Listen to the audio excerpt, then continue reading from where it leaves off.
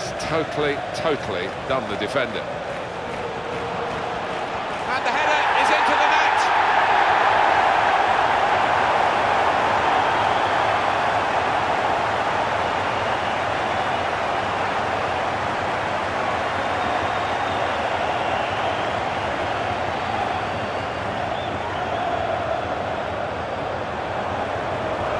For the goalkeeper, another bad moment. Certainly not his first of the day. He's just got to try and pick himself up now, Martin. There's still a game going on out there. Alan, have another look at this goal. Well, some people say it's a dying art, heading the ball, but nobody's told this lad because he works hard on it.